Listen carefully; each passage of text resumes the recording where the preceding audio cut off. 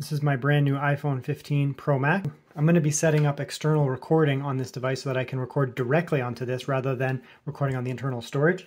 Now you do need to enable ProRes recording. So to do that, the first thing you do is you can come in here, you can pick your resolution. So I do 1080p 60. You can, you know, of course, do 4K 60, whatever you're going to do. That's your decision. We'll leave that as 1080p 60, which is what I'm normally going to record at. What you do need to come do though is you come in here and you go to formats here.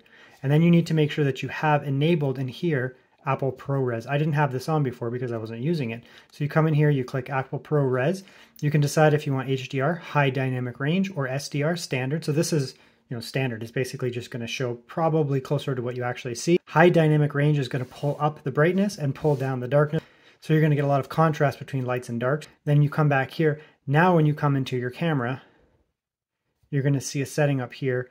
You go into video and you're going to see a setting up here saying ProRes HDR. Right now I'm not in ProRes mode. You click that there, it goes into ProRes. And you can see here I'm only getting 90 minutes. That's internal storage. This is a 512 gigabyte model of this device here. You can see there, 90 minutes. Now let's plug in an external enclosure now I have myself here an NVMe. You can plug in, you know, whatever you want. You can get pre-made ones. You can get Samsung T5, T7, whatever, you know, SanDisk, whatever you want. I just, this is way cheaper for me. Get yourself a Sabrent enclosure and stick it in an NVMe. But we're going to plug this in here and you're going to see something. See that? Nothing changed. Now if I go into files, let's say I go into files here, picture right here, I'm going to try to put this on my storage device here. So I'm going to go save to files, right? I'm going to go back here I can see my storage here, right? This is a game uh, device here, and you can see here I can't save on it. Why can't I save on this NVMe here?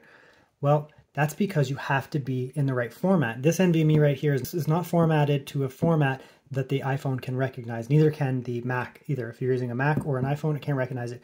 The easiest thing if you're going to be jumping between Windows, Mac, lots of different devices is going to be XFAT, exFAT, E-X-F-A-T. I'll show you how to do that. Once you do that, however, you're going to actually be able to save onto these things. So let's pull this out here. I'm going to just quickly show you a drive here that I already have been using. So we'll take that one out there. This one here is properly formatted for use on my iPhone. It uses exFAT format. So we're going to put that in there. Plug this in real quick. Same idea. We're going to plug this in here. And you're going to notice here when I go back here, give it a second to pop up. There it is, Samsung. And now I can save. See that? It's saved onto my uh, NVMe here. Now when I go back to my camera here, okay, we're going to go to video mode.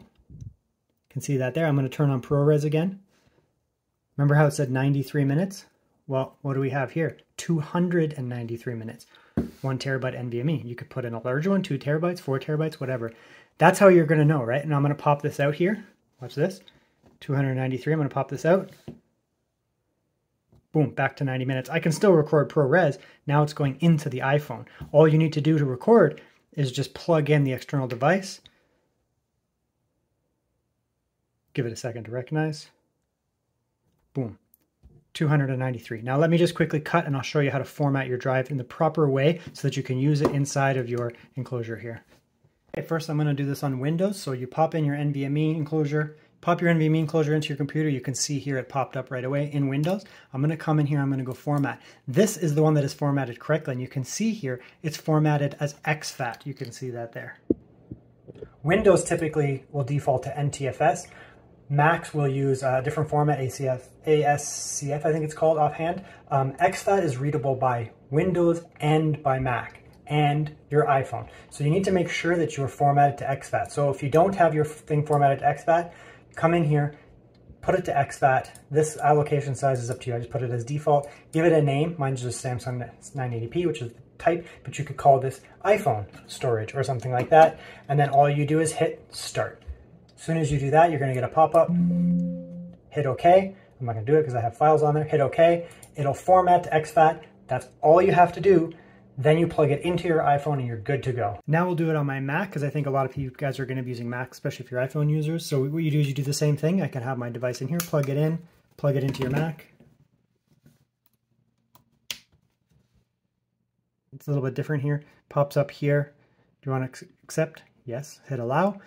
This is already formatted for the right format, but you know if it's not formatted, whether it is or not, what you're going to do is you're going to come in here and you're going to go like this. Disk, utility, hit enter, it's going to pop up here. You can see this is my drive here. You can see there right now, same as it was in Windows. I'm going to go like that. I'm going to come in here and I'm going to hit erase. It may sound counterintuitive. On Windows it was format, on here it's erase. You hit erase. Then it's going to ask you what format you want to be in here. Mac's preferred format is here, APFS. That's the, what your drives are normally going to be into. But I recommend using exFAT. The reason is exFAT will work on Windows and exFAT will work on your phone and your Mac. You can use APFS, which will work on your iPhone as well, but in the off chance that you may be also using this on your Windows machine or something or sharing it with somebody, you're better off just putting in exFAT. exFAT is recognized by Windows, Mac, and your iPhone. And then all you do is literally come in here, hit erase, and you just wait for a second.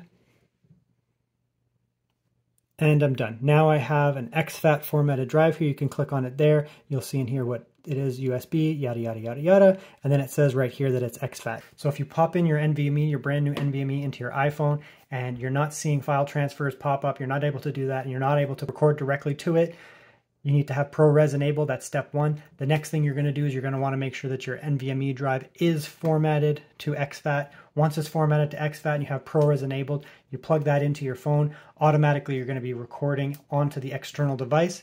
Now you don't have to record directly onto the external storage. You can. I mean, that's a really neat feature that you can do that. But you know, if you're not bringing this with you, you don't have to do that. Another really useful thing that you can do now on the iPhone, now that it has USB-C, is that you can hook up these NVMe enclosures and just transfer files over. So, you know, I could just record a video directly on my iPhone. Then when I'm done with it, I can just move it over to this NVMe really, really fast. And no longer do I need to use iCloud to upload there and then download again. No longer do I need to plug it into my computer itself and do some type of file transfer. You don't have to do that anymore. I can just move them directly onto this NVMe and just store them on there. You all know that Macs don't have a lot of storage, so why go through all these extra steps, you know, moving them onto the Mac and then moving them onto an external storage and blah, blah, blah, blah, blah. Why don't we just put them directly on there and I can just store all my videos on there. So I'm gonna end up with a two terabyte or a four terabyte one of these, and I'm just gonna store all my videos on here, and then that way I don't need to move them around. So let's say I'm gonna move this video here. Uh, this is about a 1.5 gigabyte video, so it's quite large. So we'll come in here and we'll see here export the original, or I could do save to files. We'll come in here um, you know, I can save it somewhere else on my phone. You'll notice that this is not here. Remember, I formatted this NVMe to exFAT, so once I plug this in, it should pop up here. Just give it a second. There it is. And you can see there I've already moved one. Let's just do it again. Save. Done. How long did that take? One second and I moved a 1.4 gigabyte video from my phone onto my external storage. So I don't need to put these onto my MacBook anymore and eat up my tiny, tiny little bit of storage or even on a Windows PC. I mean, storage is at a premium. Why not get yourself a cheap NVMe, USB-C? You can either record directly onto the external enclosure if you're using that ProRes up here, you know, you click like that, it's gonna go directly onto the external enclosure. But if you don't wanna do that, you know, just disable that record normally on your phone just as you normally would do, and then move them over to the NVMe. All your videos, all your pictures on here, no need to store them on your computer anymore.